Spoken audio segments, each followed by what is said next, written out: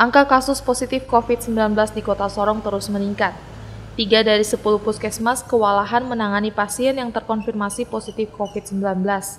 Akibatnya tenaga kesehatan yang terdiri dari perawat dan dokter harus terpapar positif COVID-19 dan tengah menjalani karantina.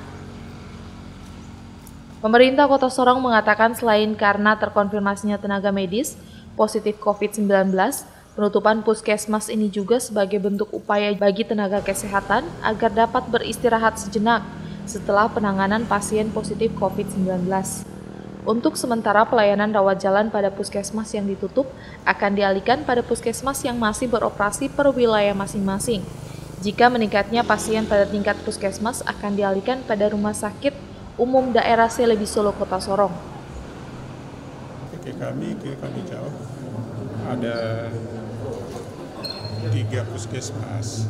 Puskesmas apa saya? Puskesmas Ilmu Malanu dan Puskesmas Malawi.